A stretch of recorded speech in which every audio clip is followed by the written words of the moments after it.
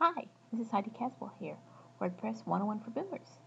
Now, I got a quick question here that we're going to answer here.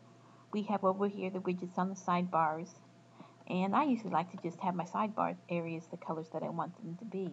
But uh, let's say maybe you wanted to have a group of text and you wanted to have a different background color over there.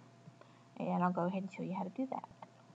Okay, you want to go back here to widgets, and you want to go get a um, pull over a text box and you can go ahead and type in some information. Okay, we got the information that you want there. Uh, now the next thing we want to do is we want to go ahead and have it so it will have a colored background. So we're going to type in a bit of code here. And we're going to put div, div, and then the style equals background color. And here you're going to put whatever background color it is you want it to have and show up. If you wanted it to be all white, it would be like that. And then you're going to put a close div.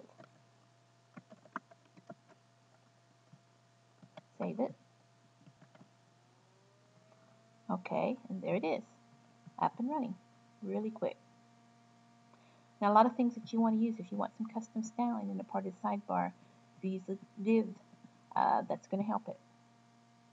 Uh, have fun. This is Heidi Caswell here, WordPress 101 for Boomers.